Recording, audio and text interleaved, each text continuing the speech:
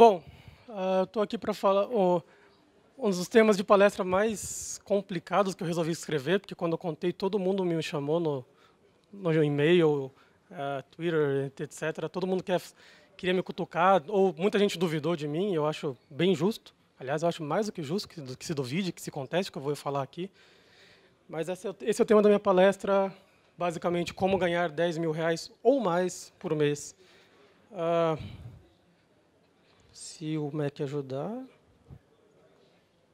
Se o Mac ajudar.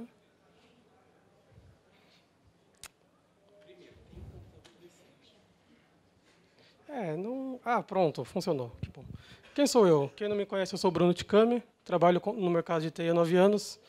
Ah, desses nove, sete são Python. Ah, quem assistiu minha palestra em São Paulo deve lembrar de um slide cheio de pontinho ao redor do mapa. Então, tenho projetos meus uh, rodando em 16 países e sou um autodidata, quer dizer que eu não tenho curso superior nem nada, não completei nenhuma das minhas muitas tentativas fracas de fazer uma faculdade. Esta palestra não é sobre eu não ganho 10 mil reais na Titans Group, empresa onde eu trabalho e que, para variar, como toda empresa que vem a Python Brasil está contratando. Uh, essa palestra não é sobre venha trabalhar na Titans, lá todo mundo ganha 10 mil reais por mês tenho colegas na palestra para corroborar a minha, a, a, minha afirmação. Essa palestra não é sobre conselhos, porque eu não estou aqui para analisar ou apontar falhas na, na, no caminho da carreira de cada um. Estou aqui para contar a minha experiência, quer dizer que isso pode funcionar muito bem para algumas pessoas e pode ser um monte de besteira para um outras. É só realmente uma questão de compartilhar a minha, a minha experiência. E não é um esquema de pirâmide, quer dizer, o que a gente vai falar aqui envolve trabalho. O que a gente vai falar aqui envolve mudança. É. Por isso que o, o, o slide já é bem focado. assim. Algumas pessoas que me viram lá no stand da Titãs falaram, poxa, é aqui que eu vou ser contratado e ganhar 10 mil reais? Não, não é aqui. Pode acontecer, mas assim, não é a regra. Tá? Não, não. Vamos seguir. É, bom, começar falando de mercado, e a primeira pergunta que você tem que fazer... Deixa eu voltar um pouco antes desse slide e falar por que, que eu escolhi esse valor de 10K. Quando eu comecei com TI nove anos atrás, eu ganhava 200 reais por mês. Então, assim...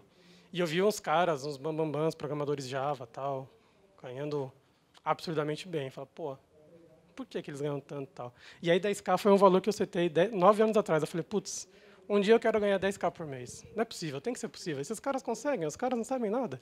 E conseguem. Não é possível. Eu sei, eu sou um estagiário, eu não sabia o que era o Linux, não sabia o que era rede, não sabia o que era sistema operacional.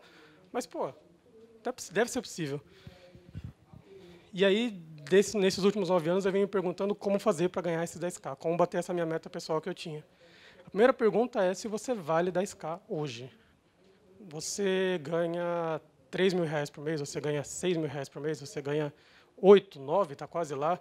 Mas a pergunta, o mais importante é por que você ganha o que você ganha e se você, de fato, vale o quanto você quer ganhar. Eu, quando ganhava 200 reais por mês, era mais que merecido, eu não entendia nada. Eu era realmente o cara para ficar no suporte lá, atendendo o telefone, explicando next, next, assim. Não, o senhor clicou no voltar, clica no next. Era essa a minha realidade, isso era mais do que justo para o meu conhecimento, para a minha capacidade. E a gente vai uh, seguir um pouco nesse tema do o que, que você faz para valer 10K. Por que que, o, o que, que você tem a oferecer para uma pessoa, uma empresa, uma instituição qualquer, que justifique que eles te paguem 10 mil reais por mês? Uh, claro, é muito comum o pessoal ter um sentimento de poxa, estou meio desvalorizado nessa empresa, é, poderia ganhar mais, legal, mas por quê? E o que você está tá se sentindo desvalorizado é o suficiente para você ganhar isso? Ah, existem vagas de 10 mil reais CLT no Brasil? Existem.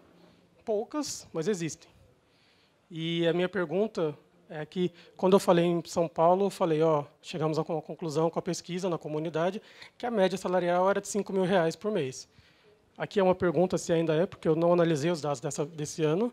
Eu pus lá o formulário, o pessoal preencheu e já está lá o link com as respostas. Então, quem quiser analisar, estão lá os dados. Eu não vou abordar esse tema hoje.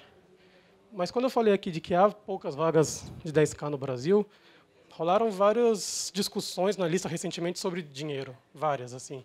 muito mais do que aconteceu nos últimos, sei lá, sete anos que eu, que eu leio a lista. E, obviamente, esse valor e outros valores foram contestados. Assim, gente perguntando se para ganhar seis, gente dizendo que Python não é rentável e tal. É, e, como eu disse, eu acho muito justo que se questione. Como assim? Como assim? Esse cara que está aí, como o Henrique falou, pô, o cara está disfarçado de estagiário ali e tal, assim, e tá vindo, vem, vem me dizer que ganha 10 pau. Porra, não é assim, né? Então, eu coloquei um e-mail blá aqui, bem borrado, tosco, com a minha capacidade, com exemplos de que existem sim vagas CLT full com benefícios acima disso. Então, uh, existe, sim, existem vagas com isso. Uh, é claro, isso aqui era um, um headhunter de uma vaga bem específica, mas existe. Isso, nesse caso de contratação CLT, isso aqui é uma pessoa. Eu nem pedi desculpa, pra, eu nem pedi licença para ele para usar, mas eu depois peço desculpa para ele por ter usado. Ah, uma thread que eu da palestra do ano de dois anos atrás, quando eu falei de salário, muita gente me mandou e-mail perguntando se sim, se como, ver uns esquemas de trazer dinheiro de fora do Brasil e tal. É, depois, quando baixar, a, quando ficar disponível o PDF, vai ser mais fácil de ler. Mas o que está escrito aqui é, é basicamente assim. Bom, o valor bruto do que eu ganho trabalhando para fora do Brasil, ganhando em euros, aqui ele põe todos os descontos, contador, IOF, imposto de renda tal, é 12 mil reais. E o valor líquido é de 11 mil. Então, existe sim, dá para trabalhar remoto ganhando isso, dá para trabalhar CLT ganhando isso. Como eu disse, acho muito justo que se conteste e também é o mínimo de vergonha na cara, já que eu estou propondo o tema, trazer exemplo de dizer que é possível. Então tá que, que é básico para a gente conseguir chegar num perfil que a gente consiga, que alguém, que uma agência de headhunting venha te procurar, falar, cara, alguém me falou de você, eu tenho uma vaga assim, eu acho que você merece. Inglês. Porra, inglês. É, eu falo, não, você não fala inglês. Inglês tem que ser aquela coisa tipo enough to start speaking English anytime, é, explicar seus problemas tecnicamente, detalhadamente, para alguém do suporte, para alguém que está te vendendo alguma coisa, para alguém que está comprando alguma coisa. É dominar o inglês. Aquela história de eu escuto, mas não falo, aquela história de eu, eu leio, mas não, eu sou meio tímido, tenho, eu me engasgo, não vai rolar. Primeira coisa que tem que trabalhar é nisso. Porque, enfim, não preciso dizer que a nossa a literatura, boa parte é em inglês, o mercado cobra isso, enfim. Segunda coisa é a questão de, de vontade, né? O que eu disse, 10 cara é uma meta pessoal minha. Então, eu tinha muita vontade de chegar nesse cara, assim. E tem que ter ambição. Eu considero que todo mundo que está na plateia aqui se considera minimamente ambicioso. Eu sei que é um termo meio feio, assim, a pessoa não gosta de falar eu sou ambicioso, mas tem que ter isso claro, assim, ó, eu quero isso, para chegar lá eu vou precisar abrir mão de algumas coisas, vou ter que ralar em outros pontos, tal, mas tem que ter ambição, tem que saber onde quer chegar tem que ter paciência, quer dizer, levaram nove anos de eu ser suporte técnico, telefone lá, explicando next, next, para chegar onde eu estou hoje. E dedicação. Quer dizer, quando eu comecei nove anos atrás, eu programava em Java, sabe? Mal, mas programava. Então, você tem que... Dois anos depois me apresentaram Python, sabe? Puta, aprender um negócio novo, nunca ouvi falar desse negócio. Tem que ralar, tem que estudar. Sem isso não vai ter muito como. Tem que ter estabilidade financeira. No começo da minha carreira, Python é, aparecia um, dois freelas por mês para fazer. E você, naquela ânsia de ganhar dinheiro, fala, daqui que eu vou pegar, vou fazer, vou entregar, vou ficar rico com isso. Não, não vai. Assim, o desespero por conseguir dinheiro vai fazer com que você entregue um produto de qualidade ruim. Você vai estar sempre pressionado, vai estar sempre cansado. É, não sei se aconteceu com todo mundo, comigo aconteceu, aquela história do o cara que está te pagando para fazer o freela te liga, você fala, puta, vou atender, assim. E, e, isso é ruim, assim. Então, a questão da estabilidade é, financeira que você tem que pensar sério de é, um passo por vez. Não dar passo maior que a perna, porque senão vai dar problema, você não vai conseguir, você vai chegar num ponto que você estagna, assim. Aconteceu comigo, eu fiquei uns dois anos estagnado no valor que eu não sabia por quê. pegava tanta coisa com tanto dinheiro, não recebia, a qualidade era ruim e tal, enfim. Comprometimento é meio que resultado de todo o resto de cima. E aqui é um tópico que eu gosto muito, que eu ouvi de um sueco uma vez, que é tem que ser brasileiro. A verdade é essa. Ser brasileiro tem seus pontos bons, pontos ruins. Óbvio que tudo que eu vou falar aqui são generalizações, então não se aplica a todo mundo. Nós temos alguns problemas enquanto brasileiros. Por exemplo, a questão de pontualidade. Ah, assim, assim como a gente tem a facilidade de se relacionar com outras pessoas, de outras empresas, de outros países, de outras tecnologias, são pontos positivos. Nós somos muito criativos, muito flexíveis, uh, mas temos problemas com prazos. Né? Eu falo isso porque eu trabalhei uns bons anos com o pessoal na Alemanha e prazo é assim quase que sua honra. A gente tem muito problema de, uh, não muito problema, mas tem uma questão de baixa estima e necessidade de validação, assim. Pô, eu brasileiro, estou falando com um gringo de sei lá onde. Esse cara deve ser muito melhor que eu. Pô, será que ele é muito melhor que você? Assim, tem que pensar. Que eu falei, se você parou lá no começo para pensar por que, que você vale 10K, quais os motivos que você merece ganhar mais do que você ganha hoje, ah, pô, você não pode ser tão ruim assim. Você está querendo mais, você passou por aquele checklist do que é necessário, do básico. Então, ah, tem também a questão de tentar fazer coisas perfeitas e grandiosas, né? Assim, ah, eu preciso agradar todo mundo, eu preciso que todo mundo. O meu primeiro projeto na Alemanha, eu tomei uma chamada de atenção daquelas monstruosas, assim, daquelas que você fala, putz, eu vou embora, eu vou voltar para casa a barco, assim. E meu chefe falou, cara, tem hora que você tem que saber programar orientado a dicionário. Você tem que saber que isso aqui é temporário, que é a questão do provisório versus aquilo que é capenga, tem que saber, tem que entregar, tem um contrato, são sete, oito dígitos em euros, tem o prazo para cumprir. Você tem que ser objetivo, né? Você tem que saber que uma coisa simples pode dar muito resultado, pode agregar muito valor. Então, não adianta você querer impressionar as pessoas com o melhor sistema do mundo. Ops. Uh, porque muitas vezes o que interessa é aquela funcionalidadezinha besta, simples, que um cara do comercial vai ver, funcionar e falar, ah, nem vai ver o resto, ele canetou ali, acabou. Tem que saber programar orientado a dicionário. Sim. Aqui, três coisas bem legais, pelo menos eu acho. Isso foi uma coisa que eu aprendi com um amigo meu brasileiro. Você tem que aprender a definir o tom da conversa. Você entra pela porta com aquela cara de pobre coitada, você não vai conseguir chegar em lugar nenhum alguns slides atrás aqui, eu falei, pô, eu tenho projetos meus, meus rodando hoje em 16 países. É verdade. Algumas pessoas aqui da plateia conhecem, conhecem gente que estavam comigo nesse país e viram. Mas quem de vocês aqui, assim, a grande maioria não viu isso, não sabe que existe. Então, pare e pensa. Será que esse cara que está aqui na frente falando, de fato, não está só contando um monte de conversa, só para parecer que ele é muito importante, não é? Você tem que saber definir o tom da conversa. Quando você chega para fazer uma negociação, você tem uma, você tem uma ideia boa, você é tecnicamente bom, você é flexível, criativo e todas aquelas qualidades que a gente viu lá atrás. Por que pensar que você, de repente, não vai conseguir fazer uma boa negociação, não tem um bom produto, alguém no mercado é melhor do que você? Você tem que saber chegar e conversar de igual para igual para as pessoas. Aconteceu comigo em 2009. Primeira vez que eu fui para a Alemanha, primeira vez que eu saí do Brasil, uma, 17 programadores Python ferrados lá. E eu, assim, engatinhando, sentando lá com os caras, morrendo de vergonha. Tipo, pô, sei lá, vou falar alguma besteira. Pô, mas os caras resolveram me levar do Brasil até lá. Então, tem alguma, alguma coisa eles viram. Eu talvez não tenha visto. Eu talvez não saiba. Mas eles viram em mim. Eles me levaram daqui para lá estão importando um brasileiro, quer dizer, alguma qualidade tem que ter. Então você tem que saber olhar para um, uma pessoa, olhar para uma oportunidade, olhar para um emprego, para uma vaga e bater de igual para igual nela.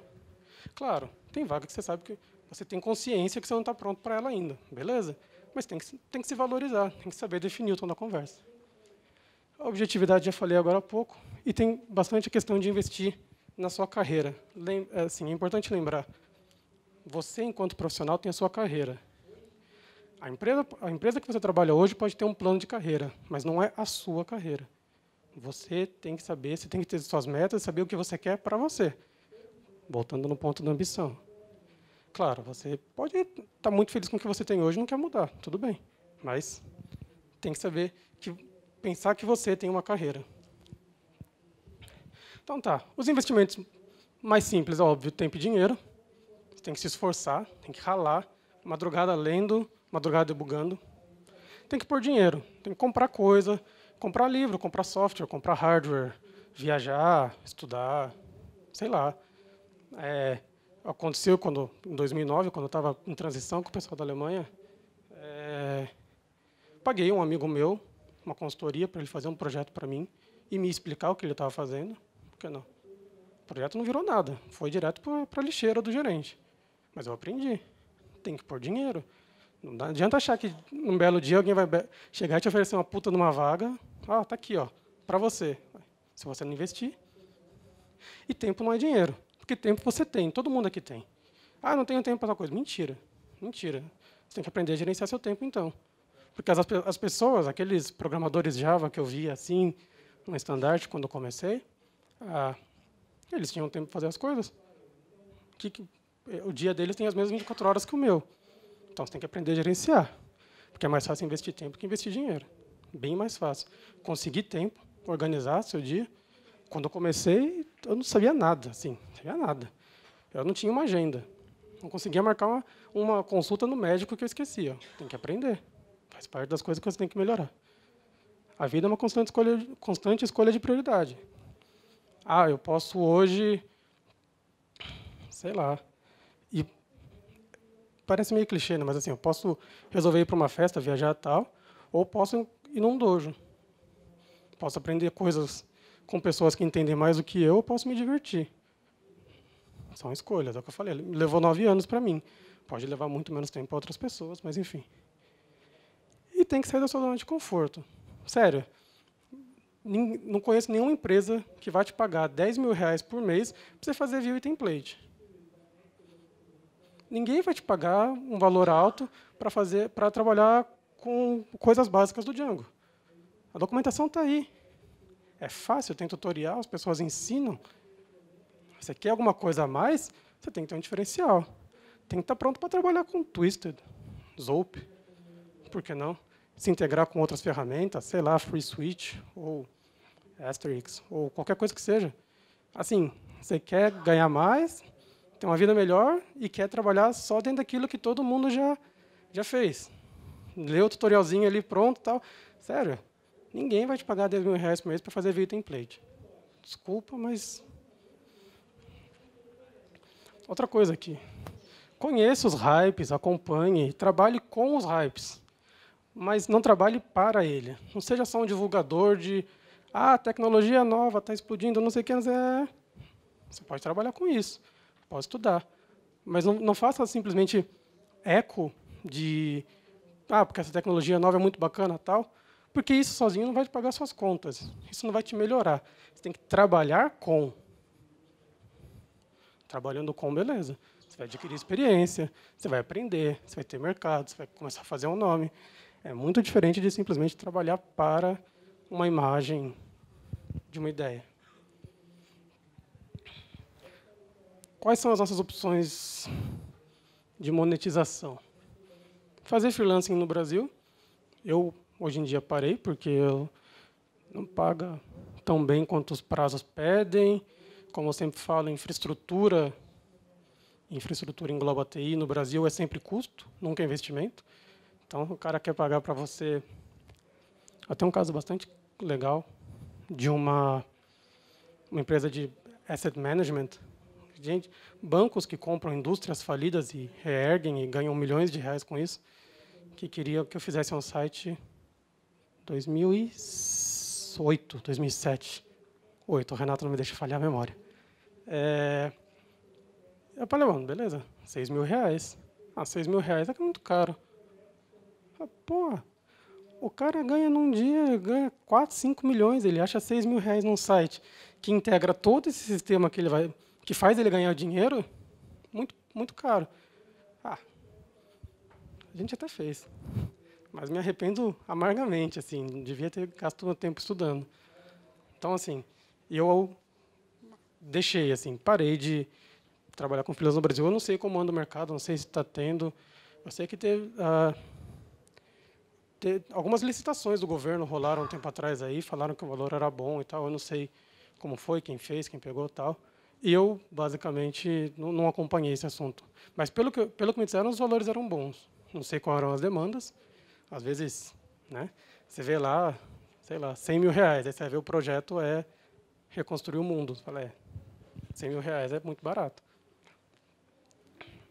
Tem a questão de empreender, mas eu não sou muito bom para falar de empreendedorismo, porque eu nunca empreendi nada, não tenho experiência prática nenhuma.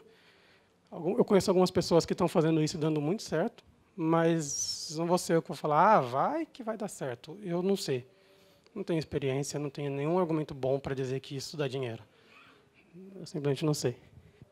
Eu posso falar o que funcionou para mim, que é venda de licença. Pô, mas vender licença é feio, né? Todo mundo aqui é entusiasta de software livre? É. Mas grandes corporações compram licenças. Não adianta você falar, ah, tal produto custa 300 mil euros.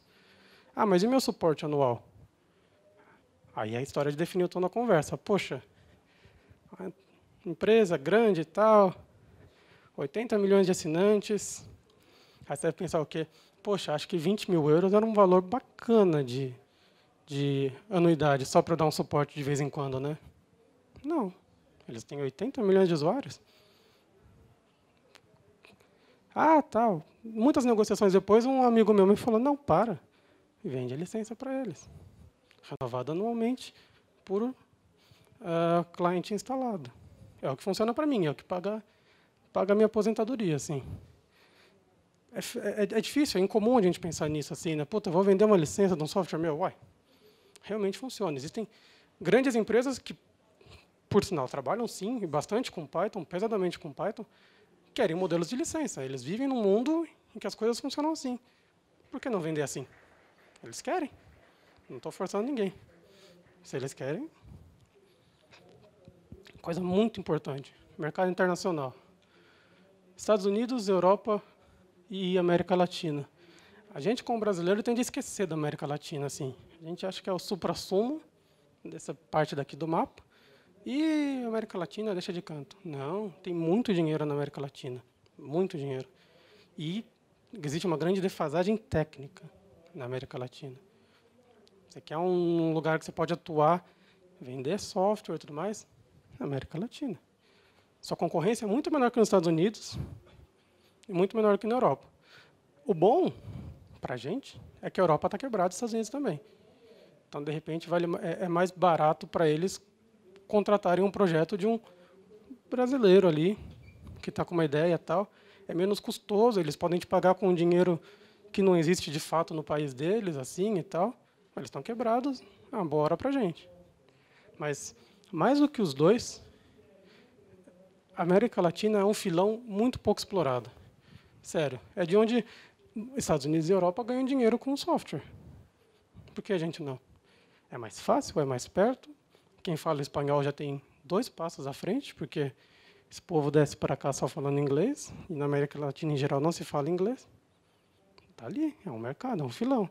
Cada um na sua área, não sei em que você querer atuar, mas é um mercado carente. É uma boa ideia. Voltando, licenças um países carentes de tecnologia, com defasagem técnica, né, falta de profissionais qualificados e uh, e é um mercado ali, ninguém vende, a gente esquece, é tão perto da gente, a gente esquece disso. Deixa eu correr um pouquinho aqui que meu tempo está apertado. Então tá, consultorias e projetos para o exterior, que eu já falei. Aproveitar a alta do dólar e do euro, afinal de contas o Eike Batista não quebrou ainda e quando ele quebrar vai valorizar ainda mais. Bom, bom para a gente. Afinal de contas, a gente quer ganhar em dólar, agora é a hora. Eu, quando todos os anos que eu trabalhei com o euro, o euro estava embaixo. Então, aproveitem agora. E é aquela história, enquanto choram, outros vendem lenço. A Europa está quebrada? Não fui eu. Mas eu posso vender software para eles, se eles precisam. O euro está em alta aqui para a gente. Ótimo, bom para a gente. Eu falei, você tem que pensar na sua carreira. É bom para você. Não posso fazer nada assim. Não vou ser eu que vou resolver a situação econômica deles. E por que se contentar com cinco dígitos? Volta na história do definir o tom da conversa. Por quê? Nove anos atrás, eu tinha três. Ganhava 200 reais, sério. Passou uma década, a coisa mudou. Qual que é, qual que é a próxima meta? Para onde você quer ir? O que, que você quer fazer e tal? Porque só quando você muda a forma de pensar que o mercado começa a te olhar com olho com mais atenção, tá? Não existe essa história de achar que o mercado vai te reconhecer só porque você é bom tecnicamente. Você tem que saber se vender. Foi a, minha lição, a principal lição que eu aprendi com o pessoal de Java. Tem que saber se vender. Ah, mas eu não quero me vender. Me vender é feio. Bom, é eu falei, tem que ter ambição. Eu assumo que todo mundo que está aqui tem ambição. Tá? E, e tem que sair bastante daquela coisa do coitadismo assim que muito brasileiro tem. Ah, eu estou insatisfeito no meu emprego, meu chefe não entende nada, eu ganho pouco. Aí ele me deu um notebook novo, beleza. O notebook que eu queria, do modelo que eu sonhava, tal. Não, porque o meu pessoal é melhor que esse. Assim, pa para de aceitar a esmola. Você quer uma coisa? Ah, mas eu adoraria ter um MacBook Pro de retina. E daí? Isso aqui é só uma peça de hardware. Se você investe na sua carreira, você pode comprar com seu dinheiro. É, tem que mudar muito a visão para você cons conseguir coisas melhores. Senão, não vai dar. Última coisa. Uh, a Titãs, obviamente, está contratando. Então, tem o QR Code, tem nosso stand ali, tem funcionários da Titãs pelo evento durante todos os dias. Mandem seus currículos para a gente. Né? Conver venham conversar com a gente. A gente, como eu disse, não paga 10 mil reais para todas as vagas. Porém, é aquela, a primeira pergunta que eu fiz é que eu vou fazer numa entrevista também. Você quer ganhar 10 mil reais? Você vale 10 mil reais? O que, que você tem que vale 10 mil reais? Ninguém vai te pagar isso de graça. Você tem que merecer. Você tem que, além de merecer, provar que merece. O cara tem que ver você trabalhando e sentir confiança. A via de regra que eu aprendi com meu amigo alemão é: toda vez que você está fazendo um projeto e que alguém te fala, ah, isso aqui, no meu caso, estava fazendo um proxy com de event. Ah, e a questão de escalabilidade? Aí eu falei, então, isso aí tem que ver com o fulano. Toda vez que você fala, isso aqui tem que ver com o fulano, é alguma coisa que você poderia saber, que agregaria para a sua experiência, para o seu currículo, e valorizaria seu currículo. Você poderia ganhar mais dinheiro com isso. Mas você está terceirizando isso, está entregando isso na mão de outra pessoa. Quem entende isso aqui é o Stefan. Então, o Stefan vai fazer, e o Stefan vai ganhar mais que você. Ele sabe disso, você não? Aí ele me explicou isso, e aí eu corri atrás de estudar a questão da escalabilidade. Pô, por que ele pode ganhar mais que eu, sendo que, na verdade, ele tinha dois slides sobre como fazer o negócio assim. Tem que estudar. Via de regra, tudo aquilo que você terceiriza é uma coisa que falta no seu currículo. Claro, ninguém precisa aprender a configurar roteador Cisco, mas tem que saber, dentro do seu métier, dentro do caminho que você escolher traçar, tem que saber tudo aquilo que tem a ver. Então, venham trabalhar na Titãs, a gente tem várias áreas. O Tomás está aqui, o Daniel está ali. É, são pessoas-chave da empresa, então se vocês quiserem falar de tecnologia com eles também, venham. A gente tem vaga para todos os, os níveis e vários ramos. Então, ah, é, minha tela de login. Venham trabalhar com a gente e é isso. Se alguém tiver alguma dúvida, acho que agora tem tempo para uma, no máximo duas. É isso. Acho que não. Obrigado, gente.